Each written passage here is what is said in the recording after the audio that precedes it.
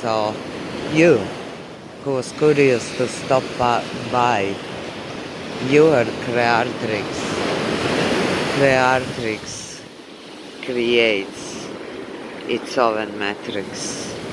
KreARTrix uses creative power to create, to transmute, to alchemize, to transform, to recreate, etc. To, to heal. KreARTrix is healing you.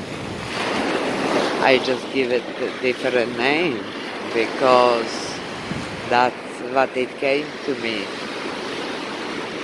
So, yeah, you are KreARTrix and I'm honored to be connected with you through this message, through this technology.